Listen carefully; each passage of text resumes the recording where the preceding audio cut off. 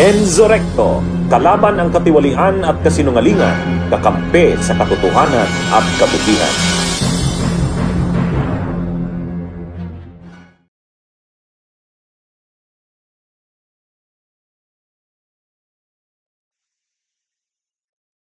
Yan. Mainit ngayon ang usap-usapan. Maugong ang balita ah, tungkol dito sa di umano'y namumuong kudeta. Ah, ah, papatalsikin na daw si Senate President Mig Subiri. Ah, ah, ano po? Hindi po ito ano ah, ah, marami ng mga senador ang tinanong. Mamaya ipi-play ko yung ah, tanong no, nung yung interview kay ah, ah, Senadora Risa Hontiveros tungkol nga dito sa balibalitang ito. Si Amy Marcos, napanood ko, tinanong din, bagamat si Amy Marcos nag-deny, si Senadora Risa Hontiveros naman, ang sabi niya, ah, wala, wala akong alam dyan kasi hindi naman ako member ng, hindi raw siya member ng ah, majority. Kung nagdi-decide naman kung sino yung magiging Senate President, yung majority ng Senado. Dalawa lang naman silang minority, siya sa kasi Coco Pimentel, kaya sabi ni Senadora Risa Hontiveros, hindi siya involved dyan, so hindi niya alam yan. Ah, so ito mga kabunyog. Pero ano nga sa kasabihan? Kapag may ah, usok, ay mayroong apoy. O yan. Mukhang ah, ano na to ah, seryoso yata itong ah, banta na ito sa posisyon ni Senate President Mig Subiri. Hmm? Ah, ano kayang ah, totoo dyan? Ano? Okay, ito mga kabunyog, pakinggan muna natin si Senadora Risa Hontiveros nung in-interview siya kaugnay dito. Well, uh, that's really the business of the majority. Um, kahit sa mga nagdaang mga kongreso, kahit yung mga iba't ibang paghalal ng Senate leadership, is really the mainly the business uh, of the majority.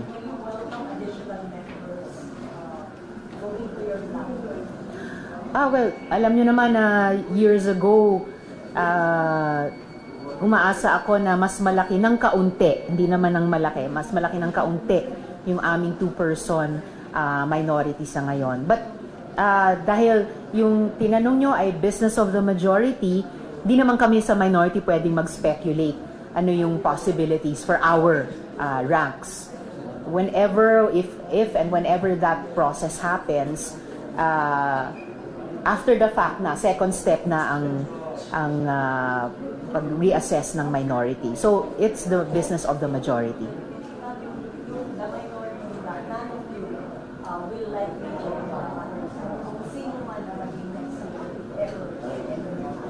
Ah, kami po ni Minority Leader Senator Coco Pimentel ay opposition. Mananatili po kaming opposition.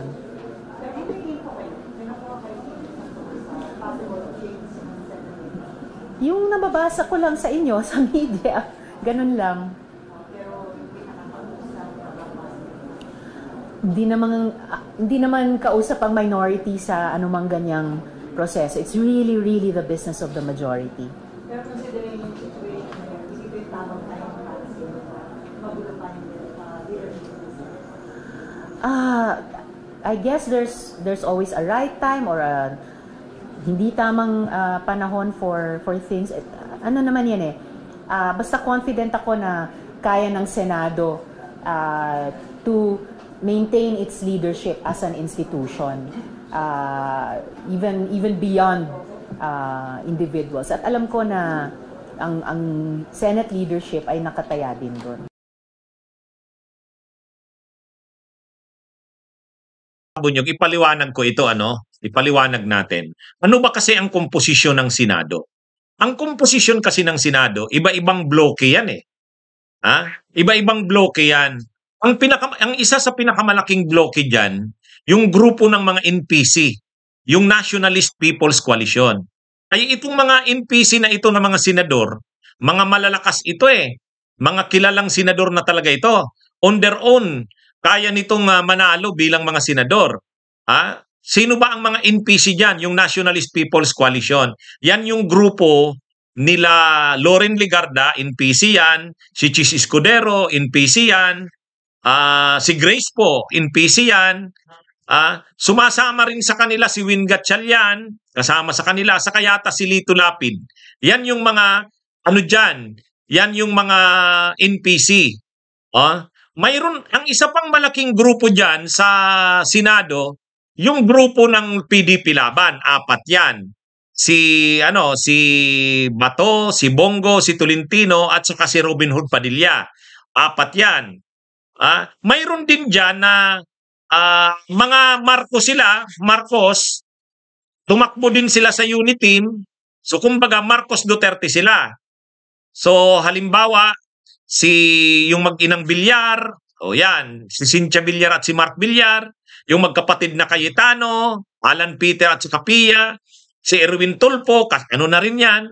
Ah, o pero, tapos itong si ano, ito namang mga, mayroong lakas dyan. Ang lakas dyan, ano lang naman ang lakas dyan eh, si, si Bong Revilla, ang ah, partido dyan lakas, kapartido nila JMA.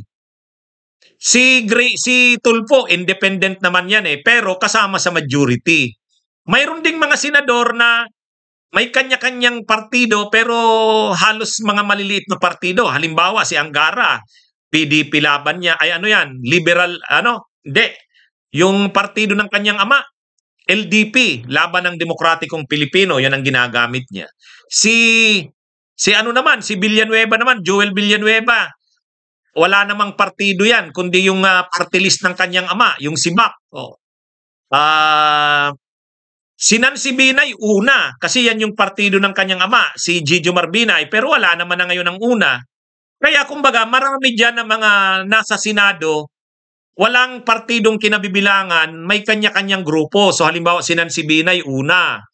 Si Angara naman, laban ng demokratikong Pilipino. Tapos si si Tulpo, independent naman yan. Oh.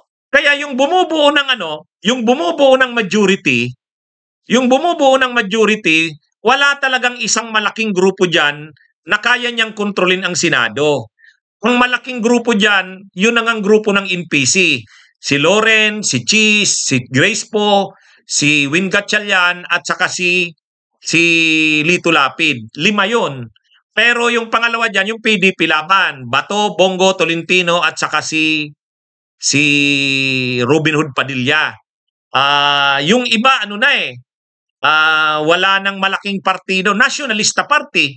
Nationalista Party, yung mag-inang Bilyar, si Mark saka si Cynthia, at yung magkapatid na Alan Peter at saka Pia, mga Nationalista Party yan. Nationalista Party yan ni Bilyar. Oh, si Amy Marcos naman, ah, wala namang ano yan eh. Siyempre, Marcos yan. Hindi naman tala, hindi siya PDP laban, hindi naman siya lakas, pero identified yan kay Duterte. Ngayon, op, anong nangyari sa Senado? Ang napagkaisahan nila, para lang ah, magkaisa silang lahat, no? Para lang magkaisa silang lahat na majority, pumili sila ng pagkakasunduan nila. Ibig sabihin, okay sa okay sa PDP laban, kila Bato, okay kila Aimee, okay kila okay kila Villar, okay din kila Chis Escudero at Loren at ang napili nila na pwede diyan ay si Chi, si, si Subiri. Oy. Kaya kumbaga si Subiri yung common candidate ng lahat na maging Senate President. Okay din yan kay Angara, okay din kila Joel Villanueva para ma-maintain ang presidency ng Senado kay Subiri, anong ginawa niya? Ginawa niyang Senate ah, pro tempore si Loren Legarda. Bakit ginawa niyang Senate ah, pro tempore si Loren? Para madala si Cheese, si Grace po, yung mga NPC. Para makuha yung mga individual na paisa-isa, si Angara, ginawa niyang majority floor leader si Villanueva. Yun yung ginawa niya na ano eh, ag- agreement. Kasi ang unang nag-ambisyon dyan na maging Senate President, si Cynthia Villar. Kaya lang si Cynthia Villar kasi, hindi acceptable sa iba eh. Kumbaga, mas ginusto na nila Chis Escudero at sa kanila Angara si Subiri kaysa kay Cynthia Villar. Kaya si Cynthia Villar umatras na sa pagka-Senate President. So ngayon, kumbaga, itong si Subiri, itong si Subiri, acceptable na kila Loren kasi Senate President, ay Senate Pro Tempore naman si Loren, bit-bit na ni Loren yung grupo nila Cheese, nila Grace po, nila Lito Lapid at saka ni Win Gatchalian. Tapos suportado na rin si Cheese Scoot ay si Subiri nila Hongara at saka nila Joel Villanueva kasi magbabarkada yan. Oh. Kumbaga, yung grupo ng PDP Laban, sila Bato, sila Bongo, sila Tolentino at Robin Hood Padilla, yung grupo nila Cynthia Villar, hindi nila kayang tapatan yung grupo nila Grace po at saka yung grupo nila Angara at saka Joel Villanueva. Kumbaga, ang pwedeng tumapat, ang pwedeng tumapat kay ah, Subiri ay si Cynthia Villar. Pwedeng si Cynthia Villar ay susuportahan ng kapat ng anak niya. Pwede ring suportahan nila Peter Cayetano at saka ni Pia. Pwede ring suportahan ni Amy kasi mga nasyonalista sila. Pwede rin silang suportahan ng PDP Laban, nila Bato. Pero pag binilang yung suporta ni Cynthia Villar, mas marami yung sumusuport kay Subiri. Tulad nila Loren, ni Cheese, ni Binay, ni Lito Lapid, tapos kahit sila Angara, kahit sila Gatchalian, at kahit si Villanueva. Yung mag ah, ano, yung magkapatid na Villar na ano na Estrada at ah, si JB at si Jinggoy. Kaya mas marami yung nakuhang support ni Subiri kaysa kay Villar. Pero ang mas gusto talaga ng kampo ng Duterte, Villar. Kahit yung kampo nila Aimee at saka yung kampo nila yung kampo nila Cayetano, mas gusto nila Villar. Oh, pero ang pinaging, pinaka naging crucial talaga diyan yung support ni Marcos Jr. Mas gusto mas gusto ni Marcos Jr. ng presidente si Subiri. Kasi si Villar kasi masyadong identified sa Arroyo at Duterte. Kaya mas okay na siya kay Subiri. Ang problema ngayon ni Subiri, nakakaaway ang House, sila Martin Romualdez. So, kung itong kudeta na to, itong kudeta na ito, hindi ito galing sa mga senador. Galing ito sa grupo nila Romualdez. Sigurado, nagmamaniobra sila Romualdez na patalsikin si Subiri. Kaya lang, sinong ilalagay? Sinong ipapalit? Ngayon, hindi naman papayag yung mga yan na ang ilagay ay si Bilyar. Ayaw nga nila kay Bilyar. Parang ang compromise ngayon, papalitan si, Sub, si Subiri, ang ilalagay si Grace po. Ah, pero ito na mga kabunyog, mayroon ng statement si ay mayroon ng comment, ano? Ito, sabi ni Sherry Antores, journa, ano yata to eh, broadcast journalist yata ito si Sherry Antores, ano? Sabi niya, Senator Grace po junk Senate co rumors with some sources claiming that she is being groomed to replace Senate President Mig Subiri. Absolutely untrue. We trust the leadership of Senate of Senator Subiri. So ibig sabihin, naglabas na ng comment itong si Senator Grace po dahil ito daw ang ginugroom eh na pwedeng pumalit. Ha? Bakit si Grace po yung inaano nilang pumalit? Eh kasi nga si Grace po mayroon siyang solidong grupo yung mga NPC, sila Loren, sila da, sila Cheese, ah, si Lito Lapid, o isang grupo yan na solid na eh. Kaya lang ah sabi na daw ni Grace po hindi siya, hindi ayaw niyang maging Senate President. So kung ayaw ni Grace po na maging Senate President, kung si Villar naman ang itutulak ng ano, hindi ano eh, hindi acceptable si Villar sa marami. Hindi acceptable si Villar. Kaya ano ito mga kabunyog, mga kababayan, mukhang ah, ang nagiging problema hindi nakakakuha ng pampalit kay Subiri na acceptable sa lahat. hindi na acceptable sa lahat. Wala nga namang si Villar, mas gugustuhin nila, mas gugustuhin na nila si Subiri kaysa kay Villar. Pero ang punto dito, sino kaya ang nagiinit kay Subiri? Siguro, nararamdaman nila Marcos Jr. at sa kanila sub, nila Romualdez na hindi kayang pasunurin ni Subiri ang mga senador. lalo na lalo na yung ah, ginagawa ng Senado na iniimbestigahan ang Kamara. Parang ano 'yon eh. Ah, hindi na hindi na kukontrol ni Subiri ang mga kapwa niya senador. Gusto yata ng ano, gusto yata ng ah, administrasyon, ibig sabihin ng palasyo ng Malacanang, nila Romualdez at nila Marcos, na ipakita ni Subiri yung liderato niya na kaya niyang pasunurin ang mga senador. Para masabing napapasunod niya ito, itigil na ang sina ang ano kasi nagkakagulo na. Yun yata ang gustong mangyari. Ang problema, hindi naman yan basta-basta makukontrol ni Subiri. Kasi yung mga senador na yan, mga ano rin yan eh, ah, may kanya-kanya rin talagang ano yan eh. Ah, may kanya-kanyang ah, lakas din yan. Halimbawa, ang grupo nila ay may Marcos. O, hindi naman talaga yan basta-basta mapapasunod ni Subiri. Mapapasunod ba ni Subiri si Amy Marcos na itigil mo na yung investigasyon? Tapos yung sila Bato, sila Bongo, sila Tolentino, hindi naman yan papayag na ipatigil yung investigasyon. Kasi ang tinatamaan sa investigasyon na yan, lab, ang People's Initiative na yan, ang tinatamaan dyan si Romualdez. Kaya pabor sa kanila na tuloy-tuloy lang yung investigasyon na, na yan kasi tinatamaan dyan si Romualdez. Dati kasi si Sara yung si Sara lagi yung tinatamaan. O ngayon naman, ang tinatamaan ay si si ano, Romualdez. So pabor pabor yan sa kampo ni Sara. So gusto yan nila Bato, gusto yan nila Bongo. Ganon din si Aimee. Kaya lang ah dahil sa tuloy-tuloy na yan na investigasyon ng Kamara, ah, nasisira na ang ah, administrasyon ni Marcos, nasisira na si Romualdez. So gusto na nilang ipatigil na yan ng Senado. Hindi naman maipatigil ni Subiri. Parang ang, ang anong ito, itong kudita na ito na nababalita, pressure ito kay Subiri na gawin mo na. Ipakita mo ang kapangyarihan mo. Pag hindi mo yan natigil, tatanggalin ka talaga ng Malacanang. Kaya lang, problema, sino naman ang ipapalit sa kanya? Kailangan kasi, acceptable yan sa karamihan eh. Oh, bakit? Kung si Grace po ba ang ipapalit, masu ma- mapapasunod ba ni Grace po sila Subiri ay sila Amy? Hindi yan. eh. Alam niyo mga kabunyog, mga kababayan, tayo nakikita natin na mahinang Senate President si Subiri.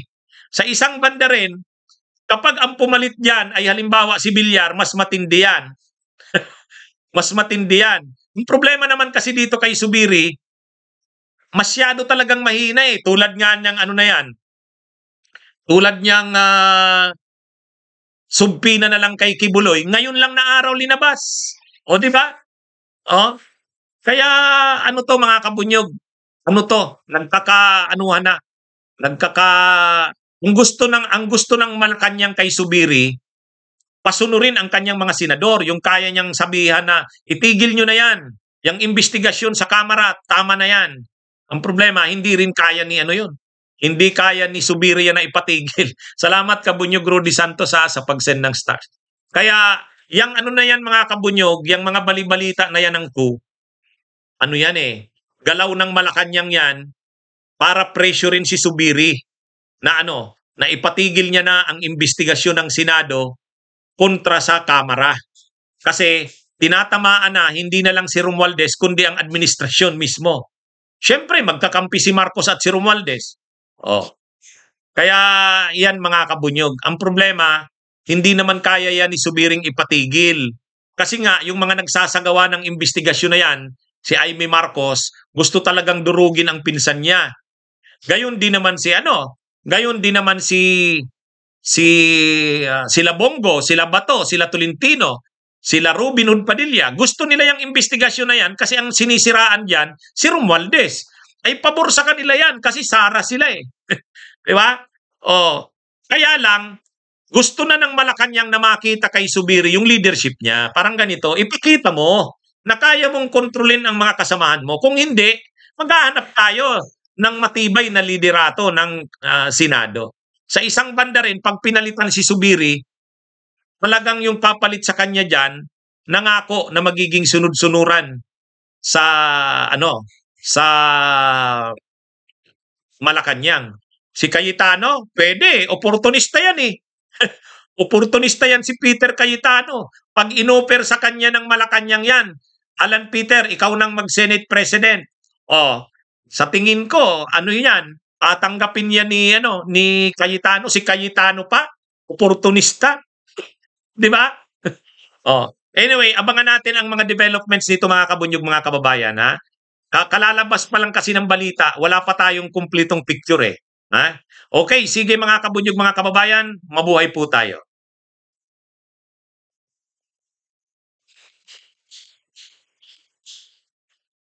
Bunyog, bunyog, halikan na kasama ka. Bunyog, Kapag buklod ay may pag-asa Luzon, Visayas, Mindanao Isa ang pananaw Sa bagong Pilipinas Pinas ang bunyog isisigaw. Bunyog, bunyog.